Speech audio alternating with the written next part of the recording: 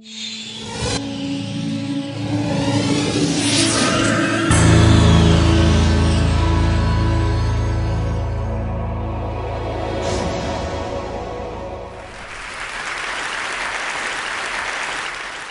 would talk a little bit about how nature makes materials. I brought along with me an abalone shell. This abalone shell is a biocomposite material that's 98% by mass calcium carbonate and 2% by mass um, protein.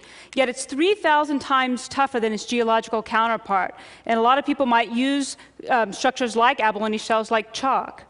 I've been fascinated by how nature makes materials, and there's a lot of secrets to how they do such an exquisite job. Part of it is that these materials are, are macroscopic in structure, but they're formed at the nanoscale. They're formed at the nanoscale, and they use proteins that are coded by the genetic level that allow them to build these really exquisite structures. So, something I think is very fascinating is what if you could give life to non living structures like batteries and like solar cells? What if they had some of the same capabilities that an abalone shell did in terms of being able to build really exquisite structures at room temperature and room pressure using non toxic chemicals and adding no toxic materials back into the environment? So, that's kind of the vision that, that, um, that I've been thinking about. And so, what if you could grow a battery in a petri dish? Or what if you could give genetic information to a battery so that it could actually become better as a function of time and do so in an environmentally friendly way?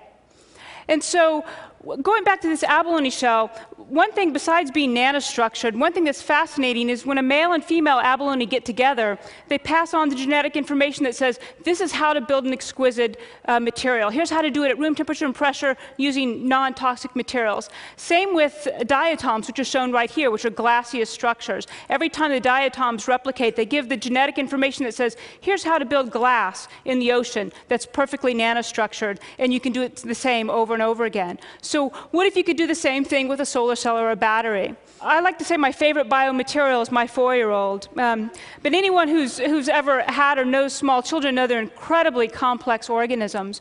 And so if, if you wanted to convince them to do something that they don't want to do, it's very difficult. And so when we think about future technologies, we actually think of um, using bacteria and virus, sim simple organisms. Can you convince them to work with a new toolbox so that they can build a structure that would be um, important to me? Also, when we think about future technologies, we start with the beginning of, of Earth. Basically, it took a billion years to have, have life uh, on Earth, and very rapidly they became multicellular. They could replicate, they could use photosynthesis as a way of getting their, their energy source. But it wasn't until about 500 million years ago, during the Cambrian geologic time period, that organisms in the ocean started making hard materials. Before that, they were all soft, uh, fluffy structures. And it was during this time that there was increased calcium and, and iron and silicon in the environment, and organisms learned how to make hard materials.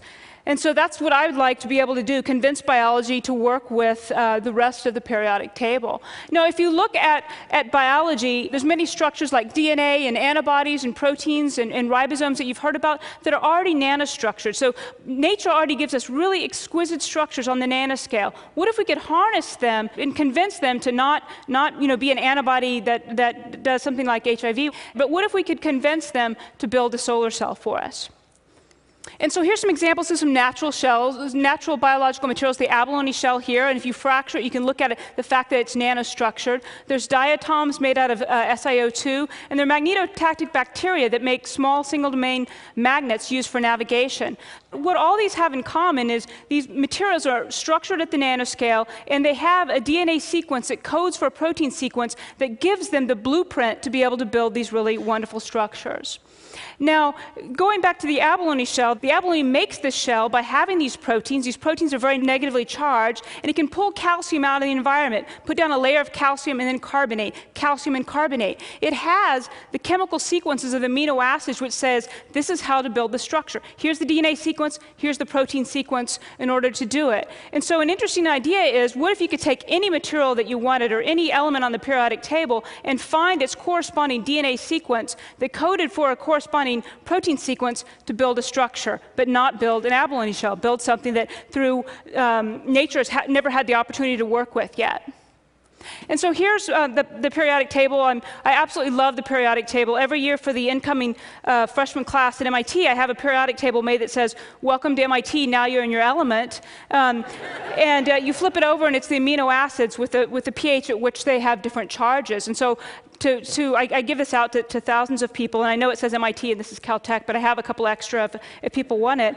And um, I was really fortunate to have um, President Obama visit my lab uh, this year in his visit to, to, MIT, and I really wanted to give him a periodic table. So I stayed up at night and I talked to my husband, how do I, you know, give President Obama a periodic table? What if he says, oh, I already have one, or I've already memorized it?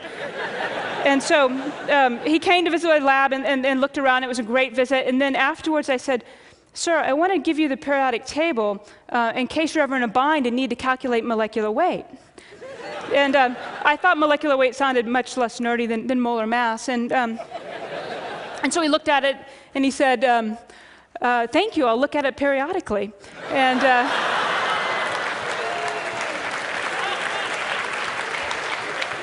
later in a, um, a, a, lecture that he gave on clean energy, he pulled it out and said, Look, people in MIT, they give out periodic tables. So.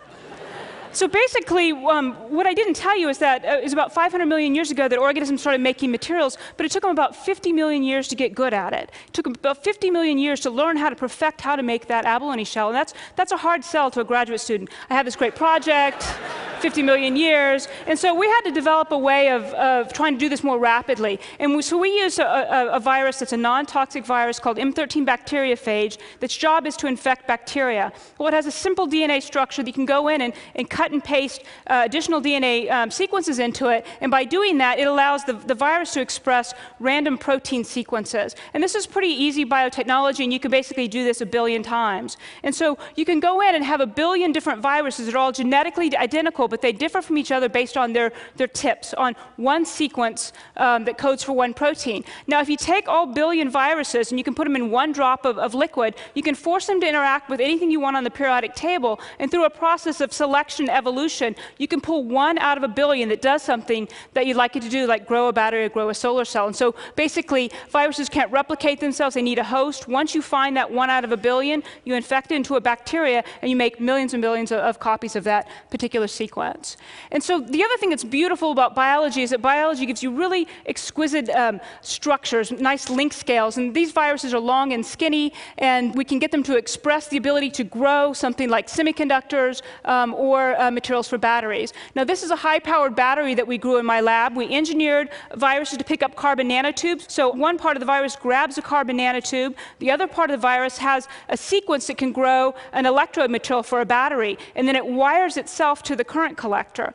And so through a process of selection evolution, we went from being able to have a virus that made kind of a crummy battery to a virus that made a good battery to a virus that made a record-breaking, high-powered battery that's all made at room temperature, uh, basically at, at, the bench And that battery went to the White House uh, for a press conference, and uh, I, I, brought it here. You can see it in this case um, that's lighting this LED. Now, if we could scale this, um, you could actually use it to, um, to, to, drive your, your um, run your Prius, which is kind of my dream to be able to drive a, a virus-powered car.